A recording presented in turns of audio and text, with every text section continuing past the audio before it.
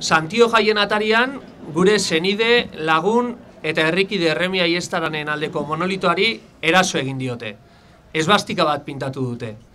Eraso larria eta onartezina dela iruditzen zaigu eta gogor salatu nahi dugu. Elkar bizitzaz horren beste hitz egiten den garaian, eskuin muturrak herri honetako biktima bati egin dion eraso zuzena da.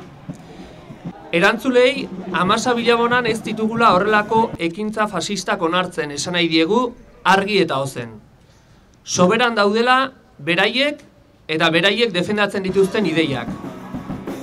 Ez gara provokazioetan eroriko, eta remiren oroimenaren alde lanean jarraituko dugu.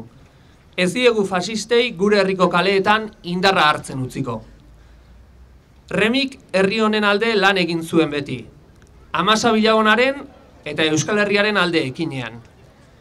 Eta 2000 eta bederatziko ustalearen hogeita maikan ere alaxe ari zen. Horregatik, bederatzi urte geroago, egia, justizia eta errekonozimendua eskatzen jarraitu beharra daukagu.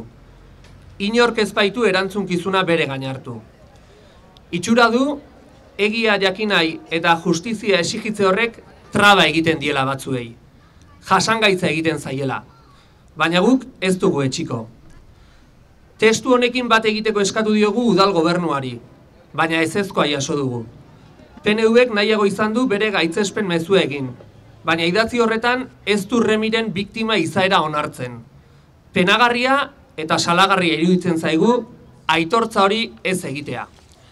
Horregatik, aurten inoiz baino gehiago, Uztailaren hogeita maikan, iluntzeko zortzietan, hemen bertan, remiri egingo diogun omenaldian parte hartzera gonbidatu nahi zaituzte gudenak.